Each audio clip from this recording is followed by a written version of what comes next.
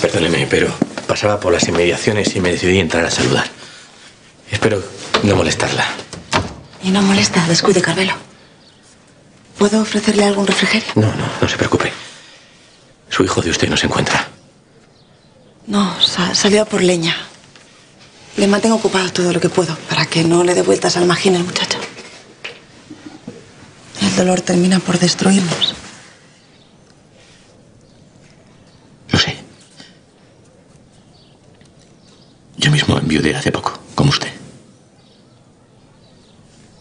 Carmelo, ¿cómo no había mencionado nada hasta el momento?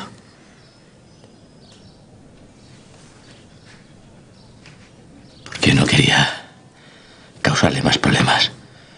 Bastante tiene con lo suyo como para venir yo aquí a contarle mis penas. Le acompaño en el sentimiento. ¿Cómo, cómo fue lo suyo? Al poco de desposarnos. Un criminal se ensañó injustamente con ella. Igual que con mi marido. Siento que he perdido la razón.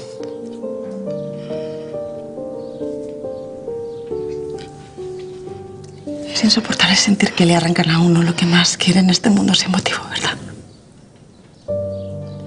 La tristeza, la, rabia y la impotencia se apoderan de uno.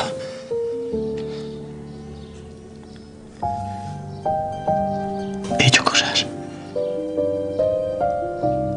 que jamás hubiera hecho en condiciones normales.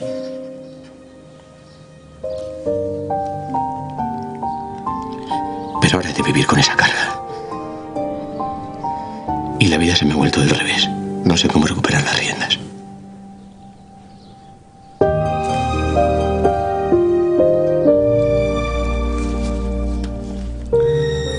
Ruego me disculpe. Si alguien le comprende en este mundo, esa soy yo. Y usted también lo sabe. Por eso ha acudido a mí.